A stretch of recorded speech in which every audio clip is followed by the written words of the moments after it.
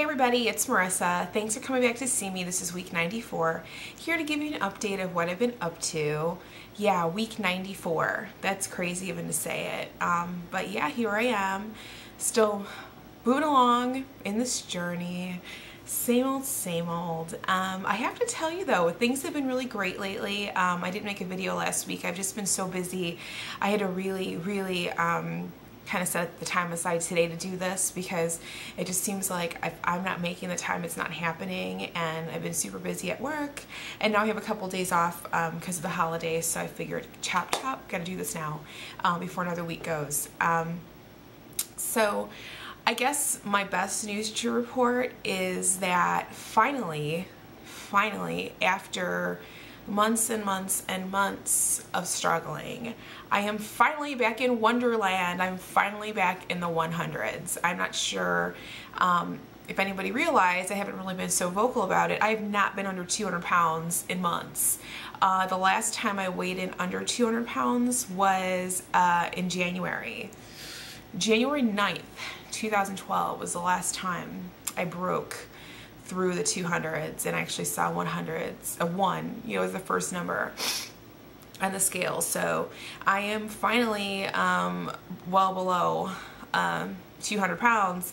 So that was actually a really great feeling because I have been really struggling with the same five pounds, six pounds over and over and over again. Um, the last video I did where I weighed under 200 pounds was video number 71, which would have been week 73 so if you want to check that out, it's kind of like a, I could tell, I mean, I was just in a terrible, terrible place, but unfortunately, you know, it just took me that long to bounce back and I'm still bouncing back. I'm not obviously at goal, but to break through the 200s was a real, it was a real mental breakthrough because I really hadn't, I hadn't seen anything below that in so long and it kind of does take a toll on you a little bit. So, um, I feel glad that my hard work is paying off slowly but surely. I mean, it's really going slowly.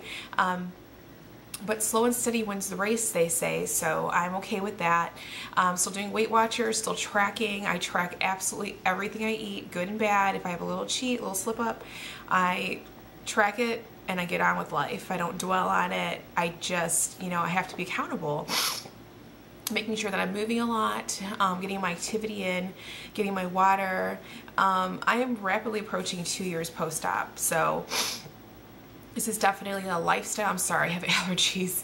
Um, this is definitely a lifestyle. This is not temporary. Um, so yeah, I'm just doing everything I can to to get to where I want to be. Um, yeah, so I've been enjoying non-scale victories. Clothes are fitting the head and fit me. Uh, a couple tops I bought uh, before I had my arms done in February. Um, didn't even like, I couldn't even get them to close. Like, no way.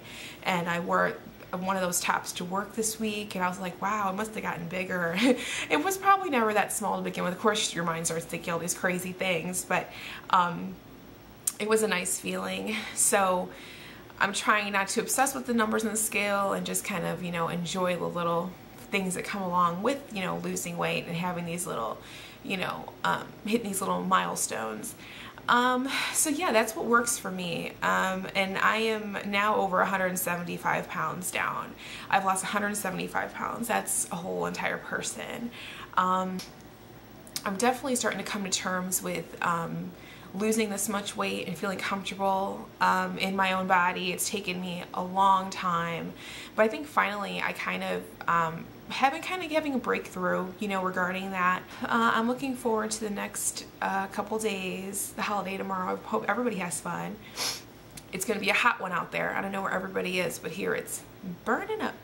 It's going to be uh, probably close to 100 degrees tomorrow. So this is actually my sundress that I wore Memorial Day that I had mentioned. I, I just, uh, yeah, it's so hot out today. I figured it's a good day for this dress. Um, tomorrow I'm going to wear the same dress, just red, a red one.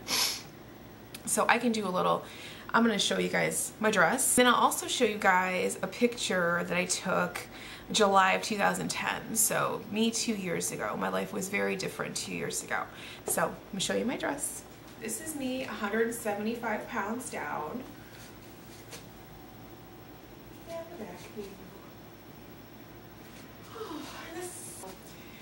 this is 175 pounds down, like I said, and take a look at this picture. This was me of July 2012, um, 175 pounds heavier.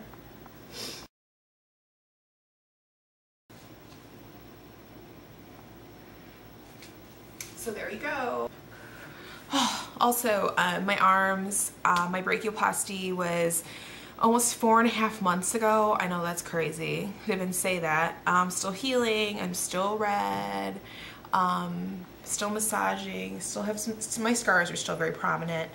Um, but I'm very happy with the um, results. I never ever in a million trillion years would have ever been able to wear um, anything like this or sleeveless and feel comfortable because there was just so much excessive skin. Um, so I'm very happy about that. But basically that's it. I'm finding myself in a good place for change. I'm feeling positive. So um, thanks everybody for checking me out, for following my journey. Um, all your support, your comments really mean a lot to me and um, everybody else actually, you know, just hearing from you, you motivate me, you keep me on track, and I appreciate it so much. Uh, and I will be back for another update next week. Hopefully I'll be right back on track. So that's it. Have a great, safe holiday, and I will check back in soon. Take care. Bye.